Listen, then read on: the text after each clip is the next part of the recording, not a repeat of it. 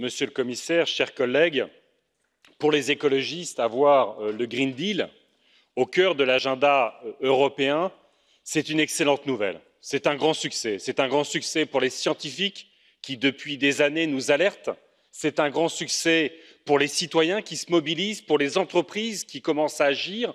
Évidemment, c'est aussi un succès pour les écologistes à travers les élections européennes. Et puis, c'est d'abord un succès pour la jeunesse mondiale qui se mobilise sur ces sujets et qui réclame de l'action. C'est aussi une incroyable opportunité, une opportunité pour l'Europe de se doter d'un projet partagé, d'un horizon commun, de mettre nos politiques publiques au service de l'innovation technologique, sociale, démocratique, au service de la relocalisation de l'économie, de la création d'emplois durables sur tous nos territoires, de plus de démocratie.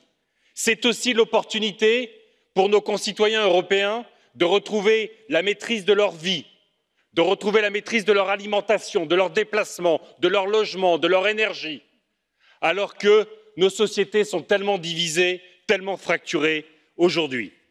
Alors la promesse est forte, mais plus la promesse est forte, je vais dire, et moins elle peut être trahie. Le Green Deal, ça ne peut pas être une relabellisation d'un statu quo. Ça, ne peut pas être juste un peu plus, juste un peu mieux. Ça ne peut pas être le même budget réaffecté ou relabellisé. Il nous faut des transformations profondes, il nous faut des ruptures. Aujourd'hui, nous avons besoin d'un investissement public à hauteur de 1% du PIB européen chaque année. Nous avons sauvé les banques, nous pouvons sauver le climat, nous pouvons sauver le vivant, surtout si ça crée des emplois et que ça relance l'économie européenne.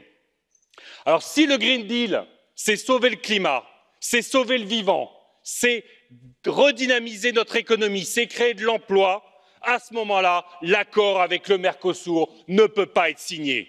L'accord avec le Mercosur ne devrait même pas être envisagé. Nous le savons tous, nous en avons débattu. La déforestation au Brésil a été doublée cette année avec Bolsonaro.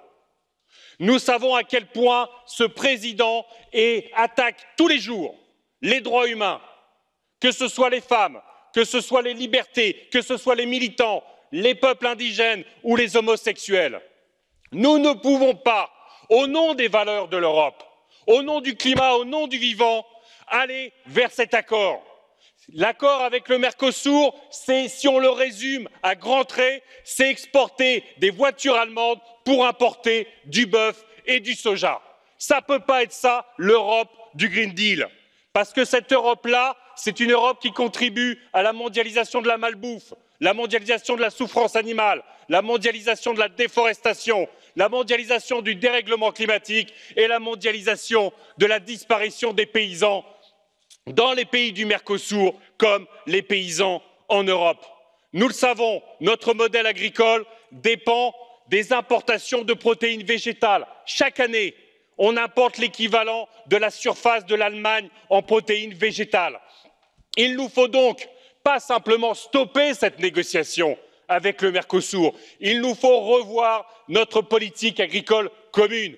Et la version, la proposition que, en tant que commissaire à l'agriculture, vous aviez faite, Monsieur Hogan, ne peut pas correspondre au Green Deal. Plus d'élevage intensif, moins de paysans, toujours plus de concentration et de pesticides, ça ne peut pas être la PAC d'une Europe du Green Deal. Changeons la PAC et changeons notre politique commerciale, c'est nécessaire. Le Green Deal peut être cette formidable opportunité pour l'Europe. Madame von der Leyen, ce matin, disait il faut écouter les citoyens européens, écoutez les, ils ne veulent pas du Mercosur, ils veulent qu'on agisse avec ambition, action concrète sur le climat, la biodiversité et la démocratie. Merci.